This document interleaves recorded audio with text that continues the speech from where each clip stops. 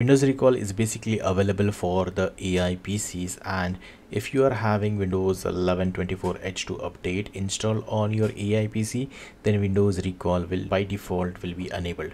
So if you want to disable the Windows Recall on your AI PC then you have to follow certain steps. Type CMD in the search box and then right click on the command prompt and then click on run as administrator. Click on yes for user account control permissions now i have given the commands in the description below. You can just copy the commands from the description and paste it in the command prompt.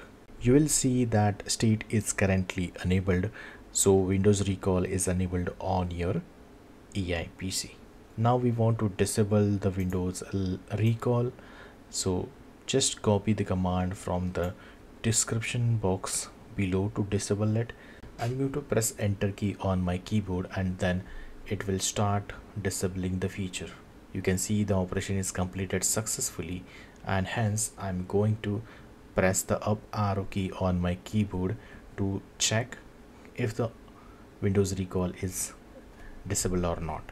You can see state is showing as disabled that means Windows recall is disabled on the PC now if we want to disable the windows recall from another method we can open gpedit.msc and this is basically can be used by the system administrators to apply the group policy all over their organization to disable windows recall on the user's pc so in the user configuration click on administrative templates and then windows components. Scroll down below to check for Windows AI folder. And in the Windows AI folder you will see turn off saving snapshots for Windows.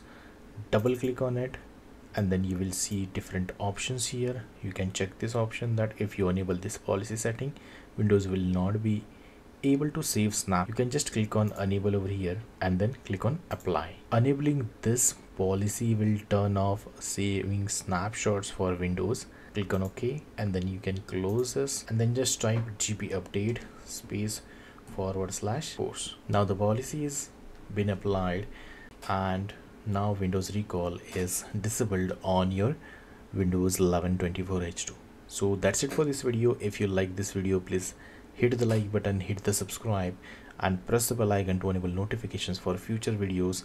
Thanks and